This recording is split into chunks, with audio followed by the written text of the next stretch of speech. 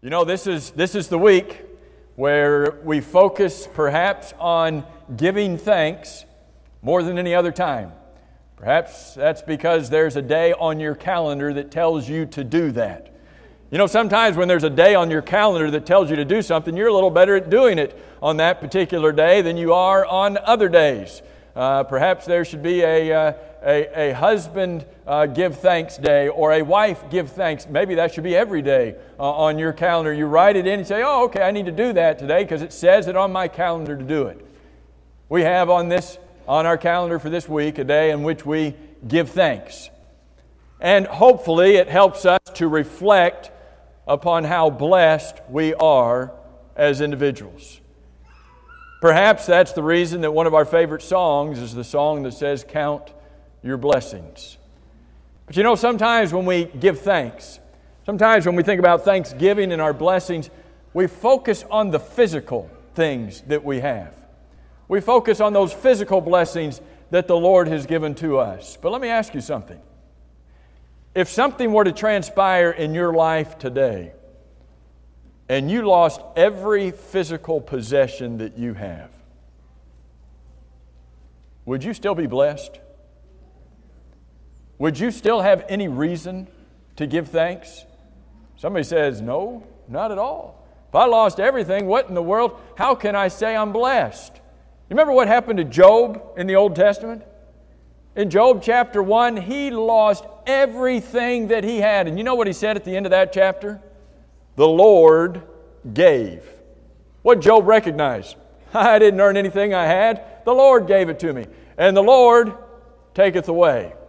You know what the next word is that he says? Cursed be the name of the Lord. That's what he said, right? Right? That's what, it, that's what his wife told him to say. And any man knows if your wife tells you to do something or say something, you, you, you better get on it. Is that what he said? The Lord gave, Lord taketh away. Blessed be the name of the Lord. When we get to the New Testament, we read about Job. In James chapter 5 and verse 11, James says, You remember the story about Job from the Old Testament? He says, When you read that, God tells us the purpose of that story. And here's the purpose of the story of Job according to James, James chapter 5 and verse 11. It teaches us that the Lord is very compassionate and He's very generous. What? He took everything that Job had away. He's very compassionate and some translations say very merciful. Job learned that. Have we learned that? Have we learned how blessed we are?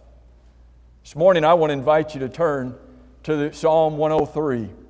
And I want us to allow Psalm 103 to teach us this morning how blessed we are, so that we can in turn turn to the Lord and tell Him how thankful we are for all that He has given to us.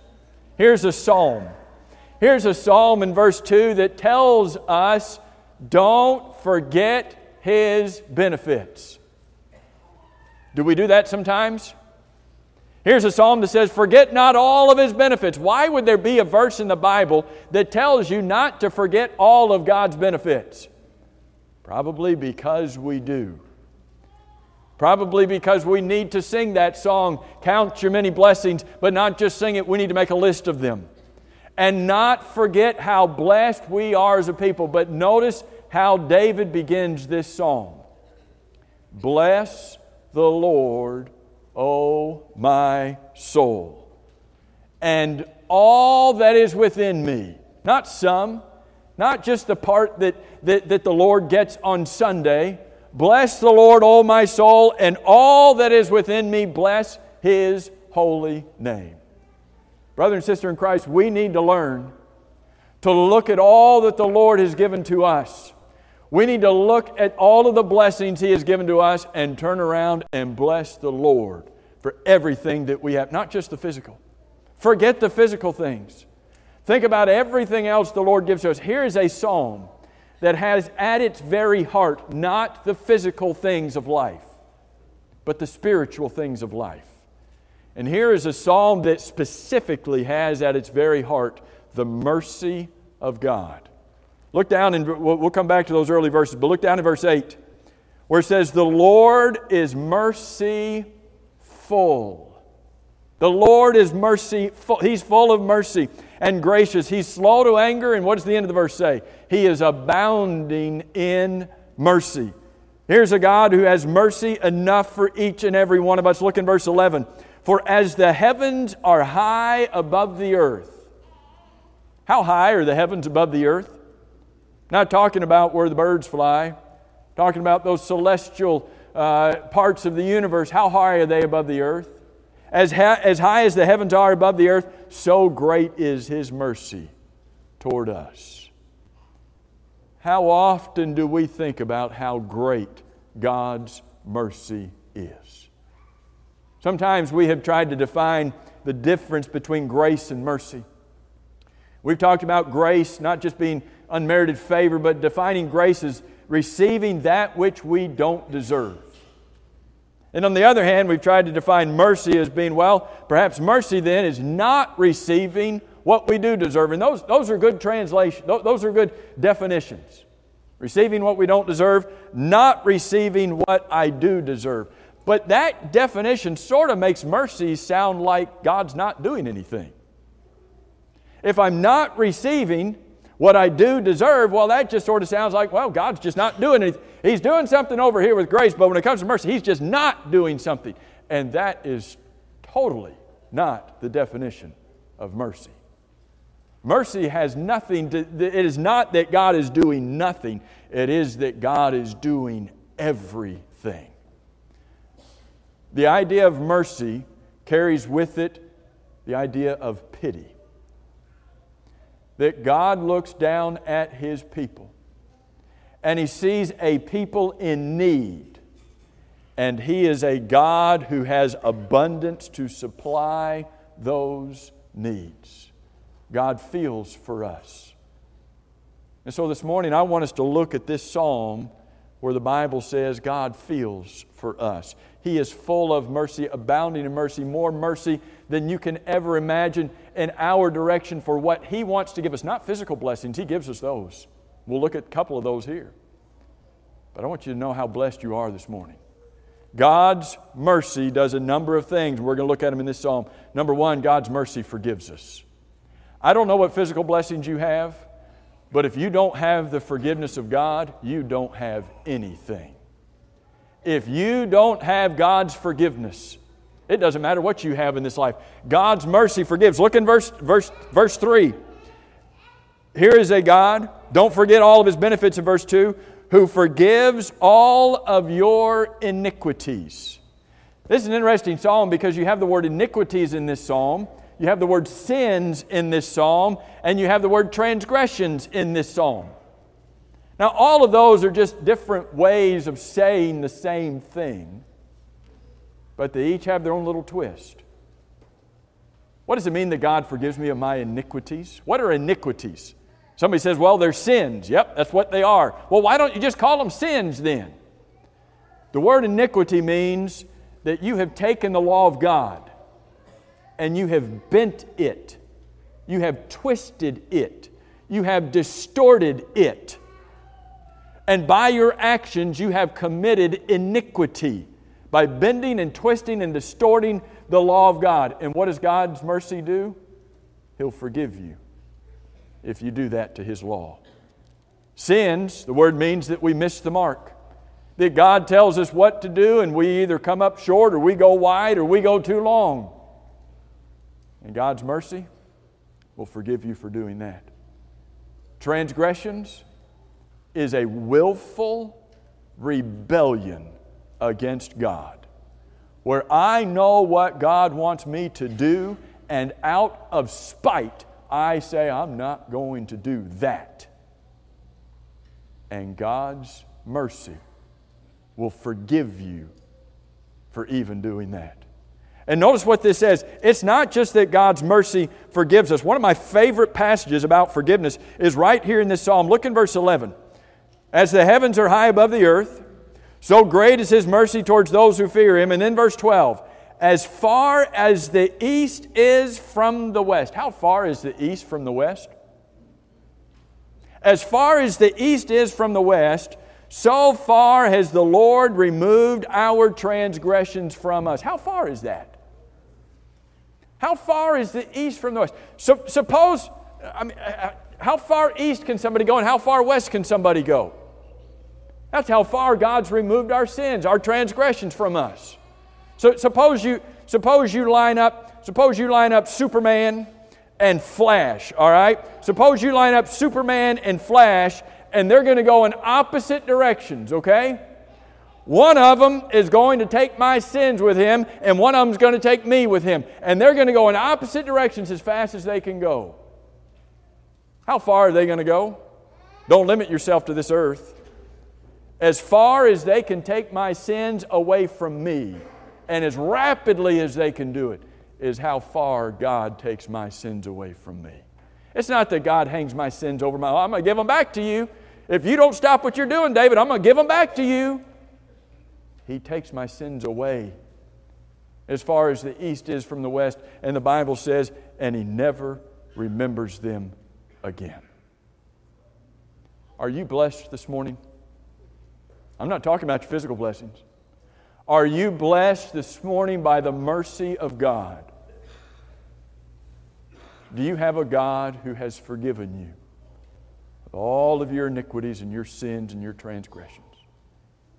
If you do, we need to say unto God, Thank you. Thanksgiving's not about Thanksgiving's not about pilgrims. I know it is. Thanksgiving's not about turkey. Oops, I know it is. Thanks, what is Thanksgiving about? We think about the national holiday. Guess what we have? We have a spiritual holiday 365 days a year and an extra one on leap year where we say, Thank you, God, for your mercy. His mercy that forgives me, His mercy that redeems me. The idea of redemption there, when, when it's mentioned there in verse 4 where it says, He redeems me, redemption has a couple different parts to it. Redemption involves being delivered from, as this verse says, his, He redeems your life from destruction. Redemption has this idea of deliverance where you are, you are on a path, you're on a course for destruction, and what does God do? He delivers you from it. He brings you back from it. The, new, the, the, the term has the idea of being bought back, that God paid the price to redeem you, to buy you back out of the consequences for where you were headed. Did God have to do that? Here I am going in a path that is opposite of God. Here I am going in a direction that doesn't want to have anything to do with God. What could God have done? God could have done the same thing some of you have done to your children. All right, if that's what you want, you just keep going. When you hit the wall, you'll come back. God could have just waited. Well, you'll figure it out on your own. God is rich in mercy. And the Bible says that while we were yet sinners, Christ died for us.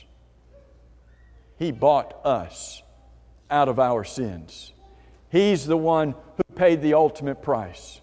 And the end of that verse, what does it say? He crowns you with loving kindness and tender mercies.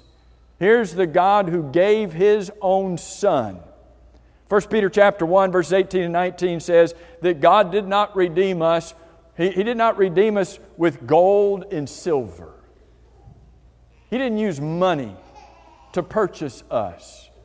But the Bible says in verse 19, He used the precious blood of Jesus. Are you blessed this morning? Has the mercy of God redeemed you? Brother and sister in Christ, if it has, we need to say unto God, Thank you, God. Thank you for redeeming me when I wasn't worth it. Thank you for sending your Son to die for me and to shed his blood when I deserve something completely different. Thank you, God. As I continue in this psalm, His mercy not only forgives me and not only redeems me, but His mercy supplies me with what I need. Look at verse 5. Verse 5 says, Here is a God who satisfies you with good things. God supplies you with everything that you need. I know you know James chapter 1 verse 17, where the Bible says, Every good and every perfect gift I like how that verse has the word every twice. Doesn't just have it once, has it twice. Every good and every perfect gift comes down from above. Paul would say in 1 Timothy chapter 6 and verse 17 that God has given us, think about this.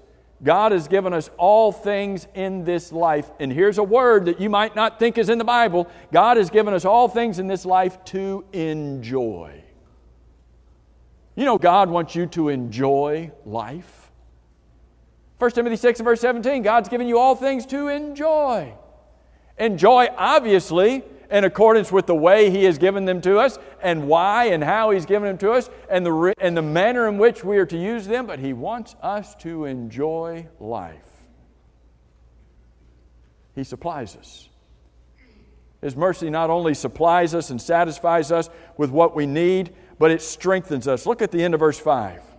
When God supplies you, when He satisfies you, He does that so your youth is renewed like the eagles.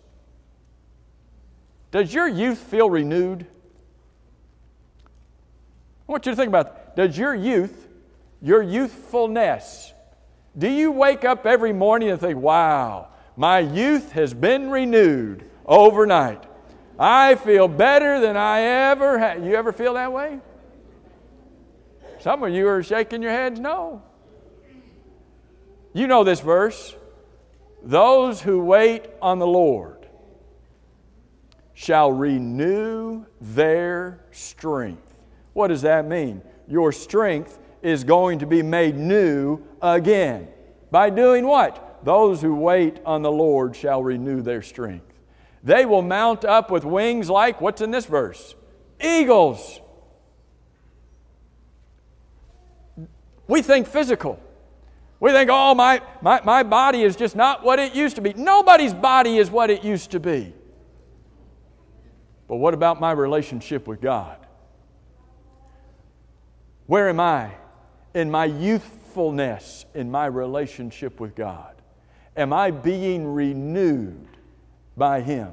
When I wait on the Lord, when I, when, when, when I am determined to serve Him, will I run and not be weary? Will I walk and not faint? Yes, if I learn to trust in the Lord with all of my heart. When I learn to lean not on my own understanding. When, when I lean on my own understanding, do I have problems? Do I come up with issues that I can't solve? But when I trust in the Lord with all of my heart, lean not, lean not on my own understanding, and when all of my ways I acknowledge who? Him, not me.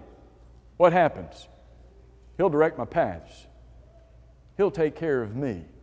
And I will be renewed every day in my strength to serve Him. The devil is trying to beat us down. Devil is trying to sap all of the energy out of us for serving the Lord. Guess what the Lord does? He keeps filling you up. He keeps giving you what you need. How is that? That's His mercy. It's His mercy that not just supplies the physical things of our life, His mercy supplies the spiritual things of our life. Look at verses 6 and 7, where the Bible says, His mercy preserves us. The Lord executes righteousness and justice for everybody who's oppressed. Here are God's people who are being oppressed and mistreated, and what does God do? He executes His judgment, His justice, and His righteousness. He takes care of His people. He makes sure that even though they are being oppressed, that they are not forsaken. You know, the Bible says that the Lord will never forsake you. I am with you always, he says. You know, there are times, I guess, in life where things happen and we say, Where's God in this? Maybe things happen in your life. Maybe things have happened in your family. We look around at things happening in our nation. We say, Where's God in this? Well, God's in the same place that He always has been. God has not moved. God said, I will never leave you nor forsake you. What does the word never mean? It means the same thing it meant when, well, it doesn't mean the same thing it meant when you said it to your kid because you changed your mind. But God doesn't change His mind. I will never leave you nor forsake you. Does God mean what He says? Where's God when all of this happens? He's in the same place He's always been. We need to trust Him. We need to lean upon Him. We need to know that He is the one who preserves us, even when others are mistreating us. And then verse 7 says, He made known His ways to Moses, His acts to the children of Israel. What's that talking about? It means that God has not been distant from us. How did God make Himself known to Moses? Burning bush. Did Moses know the presence of God in the burning bush? When Moses said, How am I supposed to go and speak? They won't listen to me. What happened? Throw your staff on the ground. What did it turn into? Serpent. Who made it do that? God did. What's all of, all of these all of these miracles when they crossed when the Israelites crossed the Red, the Red Sea on dry ground. What was that evidence of? God. All along there, what is this verse saying? God is saying, I am with you, I am with you, I will take care of you. We need to look at God's mercy. And we need to see His mercy preserving us, taking care of us, and always with us. And then we see that God's mercy, what does it do? It waits. This is one of my favorite things about the mercy of God, is that God's mercy waits. What does that mean? Look at verse 8. The Lord is merciful and gracious, slow to anger do you like that? How quick do you got, how quick do you want God to be to anger when we mess up? Would you like God to be as quick to anger as you are to anger sometimes? Oh, no, no, sir, no, sir. I want God to be a lot slower than that. Bible says God is slow to anger. What does that mean? When there is a punishment to be delivered, because of sin and transgression to His law, God holds that punishment back as long as is possible. Aren't you thankful for that? Over in Psalm 78, I like this verse. Psalm 78, verse 38 says, But God, being full of compassion, forgave their iniquity. Talk about the Israelites. And this psalm is a great history of Israel. Talk about how they rebelled and rebelled and rebelled against God. And it says, God forgave their iniquity he did not destroy them. And then this part of Psalm 78 38. Yes, many a time God turned his anger away and did not stir up all of his wrath. You go back and study the history of Israel. Do you see that to be true? Many times God turned back his anger. The mercy of God looks at a punishment that we deserve and he holds it back as long as he can. We know the verse in 2 Peter chapter 3 and verse 9 where the Bible says the Lord is not slack concerning his promise, as some men count slackness, but is long suffering toward us. Aren't you thankful that you have a God whose mercy waits on that punishment? And then you keep going. Look down to verse 10. Psalm 103 and verse 10 where it says, He has not, aren't you glad about this? He has not dealt with us according to our sins, nor punished us according to our iniquities. He doesn't always punish us the way that we deserve to be punished. If you go back and look in uh, Ezra chapter 9, you'll see in Ezra chapter 9 a passage where, where Ezra says to God, Lord, our sins have risen above our heads. He says that in about verse 6 of Ezra 9. He says, Our sins are so high, they're just above our heads. You ever feel that way? God, my sins are so far, I am just buried in my sins. But it's in this passage where Ezra says that God, you have not punished us like we should have been punished. You have punished us less than our iniquities deserve. That's the mercy of God. That's the mercy of God that waits And then finally, look in verse 9, where he says, He will not always strive with us, nor will he keep his anger forever. What does that mean? That means that while he holds it back as long as he possibly can, while God's punishment, he holds what we deserve back. Verse 9 says, ultimately, it's got to come. His punishment will come. What side of that do I want to be on? God is waiting and waiting and waiting for you to give your life to Him. He's waiting. He's waiting and waiting and waiting to send Jesus back. Why? So that you'll decide to obey Him, so that He won't have to punish you. That's God's mercy. That's God's mercy that is long suffering toward us, not willing that any should perish, but that all should come to repentance. And He's waiting and He's waiting. But the Bible says the day is going to come when His waiting stops. Thank God that He's a merciful God. Let me briefly look at these next couple. God's mercy sympathizes with us. Look in verse 13 where God sympathizes with us as a father does. As a father pities his children, verse 13, so the Lord pities those who fear him. God doesn't, God treats us like his children. He behaves, he, he takes upon the role of as a father, knowing what we need, caring for us, and sympathizes with us as a father does with his own children. Then look in verse 14. He knows our frame. He remembers that we are dust. He remembers we're just human. He remembers that, that, that, we, that we are not perfect. And in that, He sympathizes with us as our Creator that says, I know they're not God. I know they're not perfect. I know they're going to make mistakes. And He pities us, sympathizes with us in that. You know, sometimes parents, have a hard time remembering that their children are not adults. That their children, when they, when they are children, let's put it that way, that when their children are children, that when their children are children, they are children. sometimes they get angry with their children because they're not acting like adults. Well, when somebody becomes an adult, what do they need to act like?